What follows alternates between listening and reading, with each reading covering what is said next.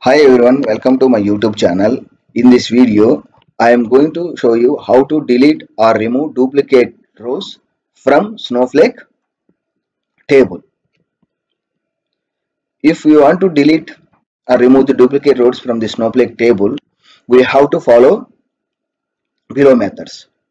The first one is use the distinct keyword and the second one is alter table using swap with method use row number analytic function.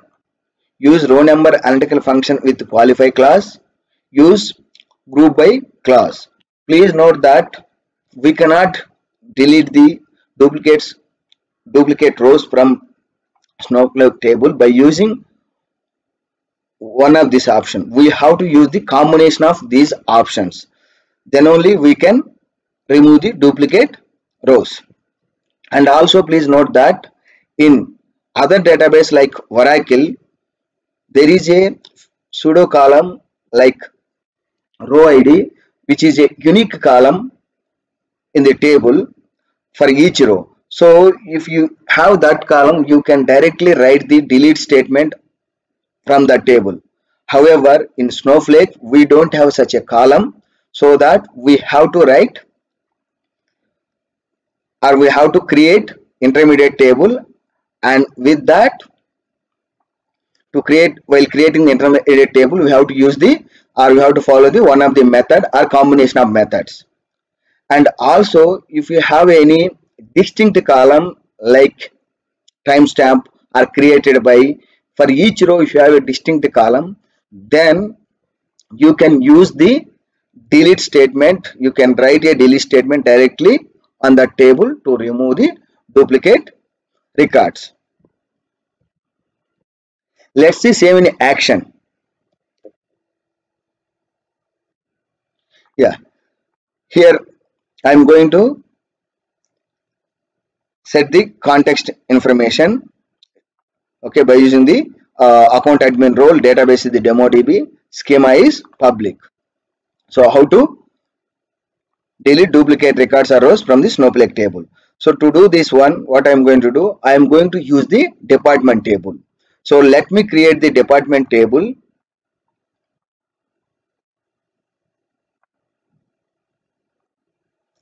Table dept successfully created.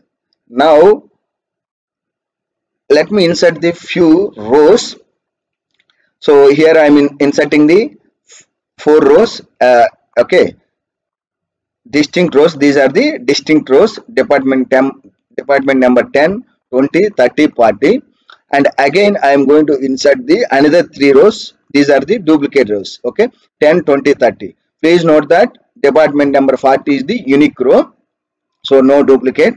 So we have a three duplicate rows. Now let me show you the data from table select star from dept order by dept number DESC. So total we have seven records are there. So department number 40 is the unique row, remaining duplicate rows. Okay, now what I am going to do, as I said that we have to use the distinct keyword alter table using the swap with method, row number analytical function or row number analytical function with qualify class, group by class so now what i am going to do let me explain the or delete the duplicate re uh, records case by case. So here case 1 as part of the case 1 what i am going to do? So here create a new table dpt distinct. Table name is the distinct using the distinct class. So sorry let me yeah. Distinct class. And then once you create the distinct new table by using distinct a distinct keyword then drop the existing table called a department table and rename new table with the original table department. So for that matter here is the first step as part of the case one. Create a table table name as select distinct star from department table. So here see table dept underscore distinct successfully created now what i'm going to do i'm going to drop the table department table. So department dept successfully dropped. Now what i'm going to do alter table new table. Okay new table created by using the distinct keyword and rename to department table. So now okay table created. So now let me see the data from DEPT order by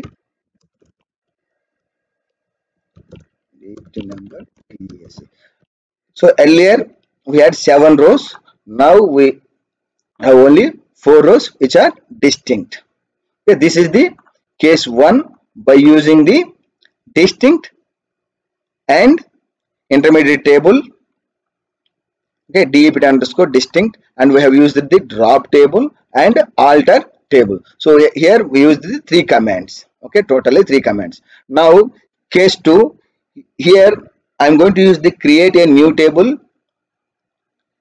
dept underscore distinct using distinct class only and step 2 alter table using swap with this is the one of the class available in snowflake.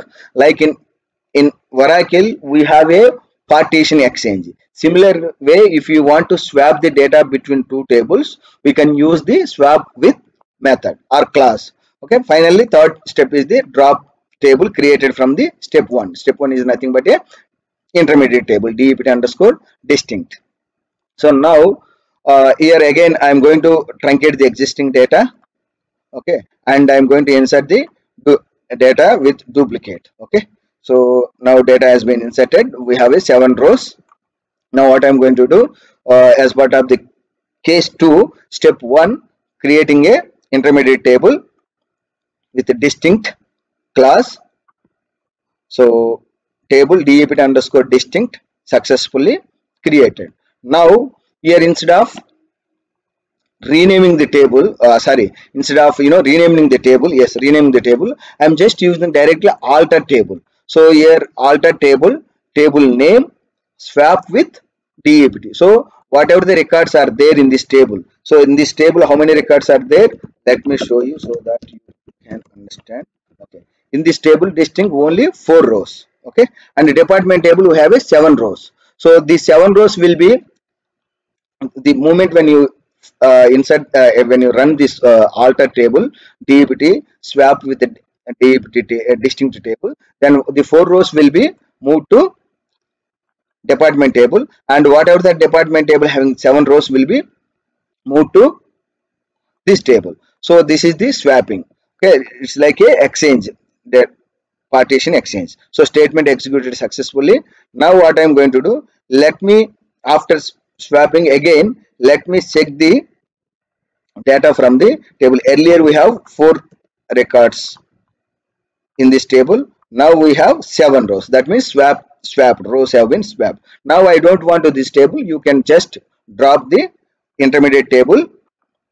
Drop. Now you can check the data from the main table called dept now we don't have any duplicate rows. Okay we have a unique rows. This is the another way okay, instead of renaming the table you can directly swap the table. Okay. Now case 3 so use the row analytical function okay so row number analytical function. If you have any please note that if you want to use the row number function you have any you have, have any one column with unique value. So let me uh, let me explain that what is that. Okay step one use the direct delete statement. In this case if you have a unique value then we can use the directly delete statement. Now let me to have a unique column what i'm going to do as part of the case 3 so i'm going to alter the table okay adding new column. Basically insert underscore ts ts is nothing but a timestamp okay? This is the one column. I'm going to add extra column to department table okay? Added. Now let me truncate the existing data. And then i'm going to insert the data. See this is the assume that these are the four records inserted with the four columns i mean one new extra column current date okay? Insert ts insert ts is nothing but the timestamp. So timestamp is the current date minus one.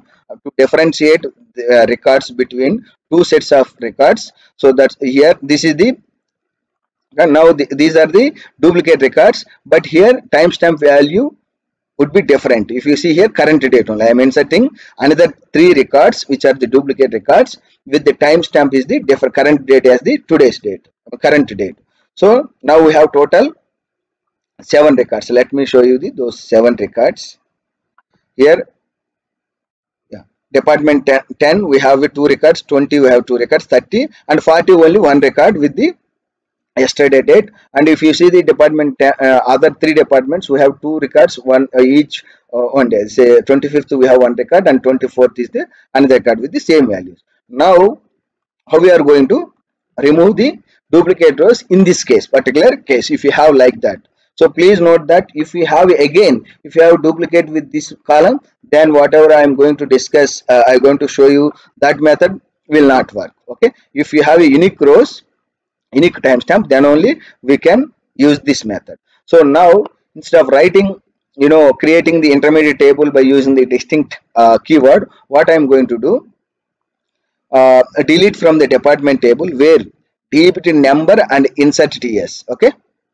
Insert ts you you may not use the yeah you have to use the insert dpt number and insert ts not in. So i am going to bring the uh, fetch the only two rows dpt number uh, two columns dpt number and insert ts from this is the row number okay? Select star from select star means all the columns and row number. Here uh, instead of using the star you can only fetch the these two row uh, two columns also. So select star comma row number over partition by department number order by insert ts. So we have a for each department we have a two rows okay? One one row one row insert ts 25th another one the 24th so from dept so when you run this one it will fetch the it will assign the uh, you know new column okay row name on fly this is the uh, it's not permanent column. So one and two now i am going to delete other than one okay two is there. So i'm going to delete this one and i am going to keep this one on for each combination. So now and to bring that row number one where class i am using the again subquery. So select subquery this one where class. Okay now let me delete the data. Here please note that here i am not using the any intermediate table. Directly i am performing delete statement and dept table. Okay now yeah number of rows deleted 3 that is expected one only now if you see here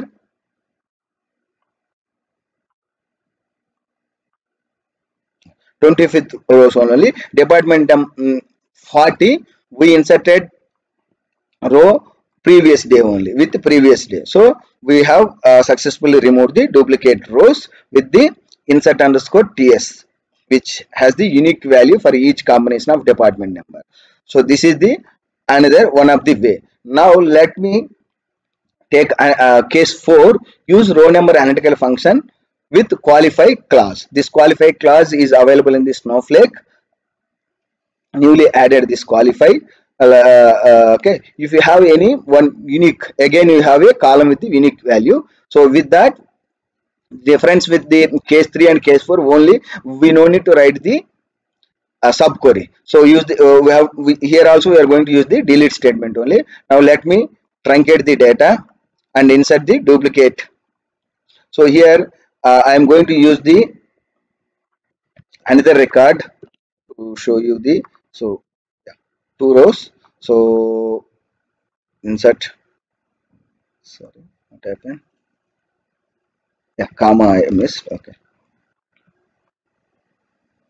Okay so yeah five rows have been inserted. Now see please note that here the, the, value is the distinct only. Even though when i am setting all the records uh, at the same time these five records here current date minus 2 this case for 30 current date minus 1 so here again i am inserting current date. So we have a three different dates are there. So total we have a eight records in that. So the department 30 we have a three rows um, three uh, three row uh, three records. So uh, with the 25 24 and 23rd so we have to keep the only with the latest one 25th remaining two rows we have to remove. Now here i'm going to use the qualify. Everything is same only. Here i'm not using the any subquery. Directly i'm using the without where class okay? Without where, where class by using the qualify. Qualify is nothing but a when you have to use the qualify i already uh, you know uploaded one video about uh, uh, qualify. Please if you are not clear how to use this qualify you please watch that video. Okay i will provide the link here.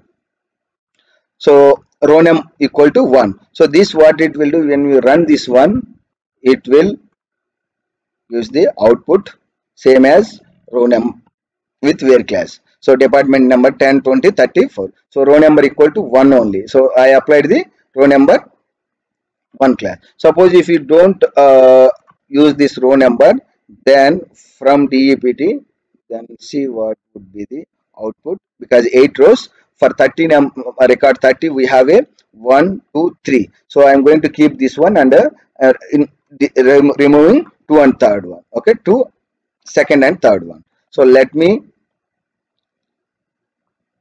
yeah. Now let me uh, uh, execute the delete statement. Delete from department uh, department where dept number insert ts not in select. This output is just to get the department number and insert ts so now let me why i'm not using the row number? Because row number is not there in the dept table. This is a virtual column or calculated column.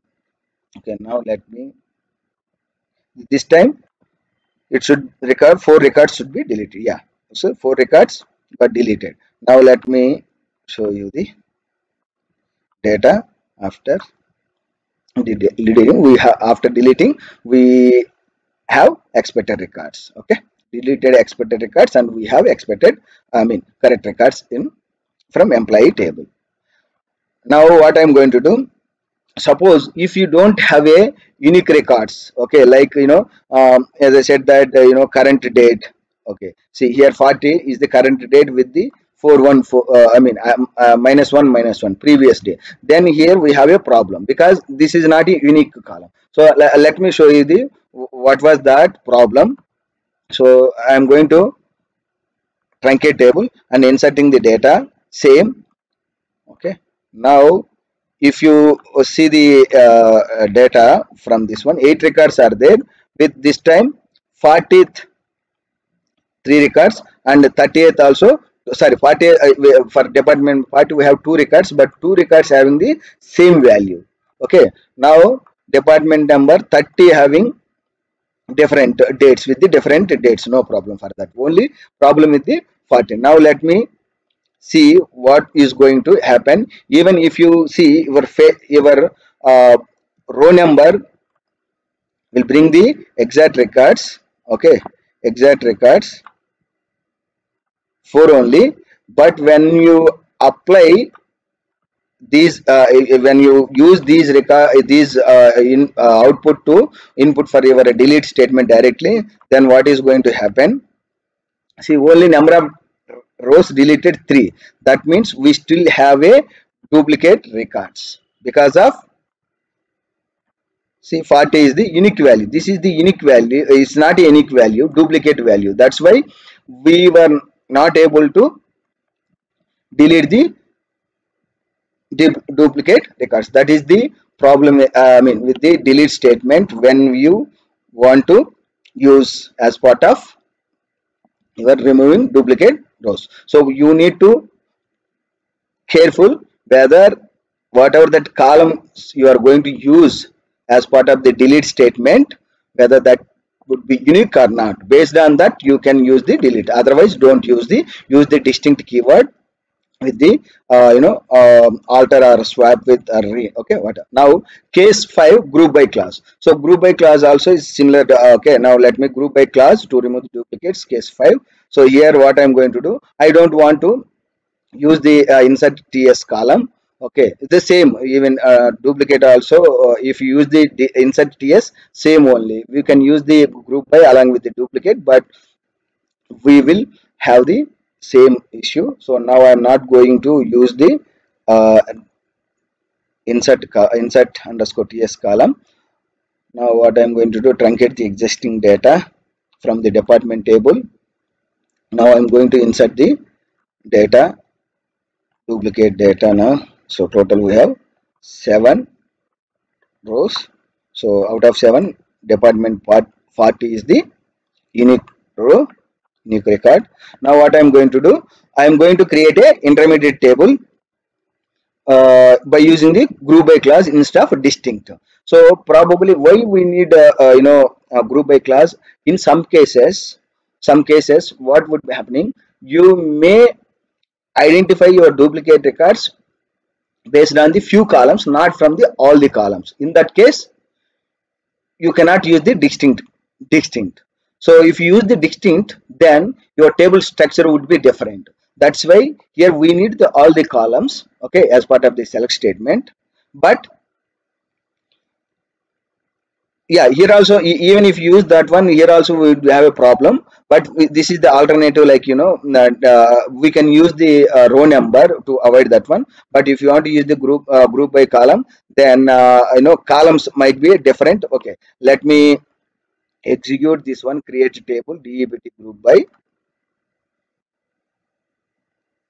if you want to use the particular columns then you have to use the row num uh, uh, analytical function. So that analytical function will not reduce the number of rows. Uh, okay. So here group by group by uh, if you use the group by then it will re reduce the number of rows. And you cannot uh, use i mean you cannot specify the uh, you know columns which were not part of the uh, group by class. So if you want to like that then you have to go for the analytical function. So that that will not reduce the number of rows written by the uh, you know columns. Uh, and also you can use the any type of columns from the select class. That is the only difference between group by and uh, analytical functions. Now what i'm going to do if you see here uh, our uh, department table uh, new table or uh, intermediate table having the four distinct rows without duplicate rows. Now what i'm going to do you just alter or swap. Either you can use the so here i'm just using the uh, you know swap table. So alter table swap and then you check the data from the department table no duplicate rows and then finally you can drop the your your temporary or intermediate table. So this is the all about how to remove or delete the duplicate rows or records from snowflake table. Thank you for watching my video. If you like this video please subscribe to my youtube channel. Click bell notification bell icon for notifications. Like it and share it to your friends. Thank you once again